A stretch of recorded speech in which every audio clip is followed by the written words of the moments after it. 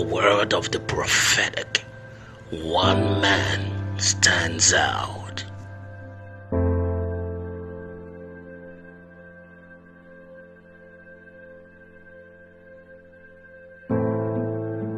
Apostle King Favor.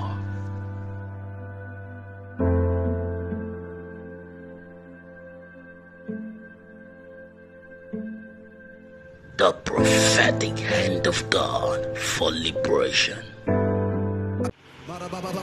This is the prophet Apostle King Favor. In the book of Amos 3, verse 7, it is written, And God does nothing except he first reveals it to his servant Apostle King Favor. Paraphrase. This is that great unique prophet that God used to prophesy about the coronavirus. And I prophesied by the Spirit of God in the Word Prophetic Bulletin for the year 2020. I prophesied in Article 3 and Article 6. I said a major catastrophe will hit the country China. And I prophesied, I said a major sickness will emerge in one of the giant countries in Asia and that turned out to be the coronavirus.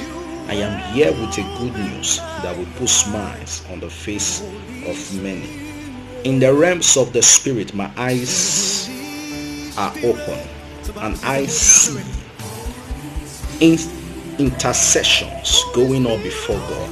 And I see the hand of Jehovah stretched out to rebuke the spirit that was sent out of his presence to destroy a portion of those that do not fear him. And I saw the hand of Jehovah rebuking that spirit. What does it mean? It means that in less than three months from now, the whole world should watch out. The cases of coronavirus will be over. God has intervened in the affairs of men. And this will go a long way to show that God is mighty and that this prophet, Apostle King Favor, is really used by God and is really in touch with what goes on in the courtroom of Jehovah. God bless you. Let's watch out and let's be prayerful.